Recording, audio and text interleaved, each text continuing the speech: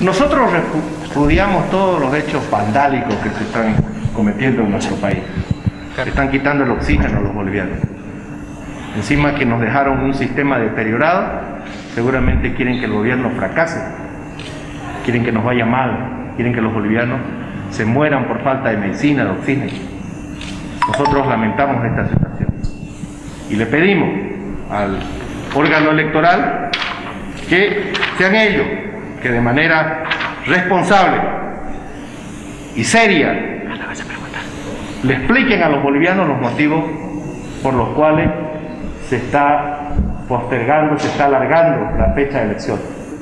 Ahora es el órgano electoral independiente que tiene que poner fechas y seguramente tiene que explicarle por qué han alargado la fecha. Tienen que ser más serios.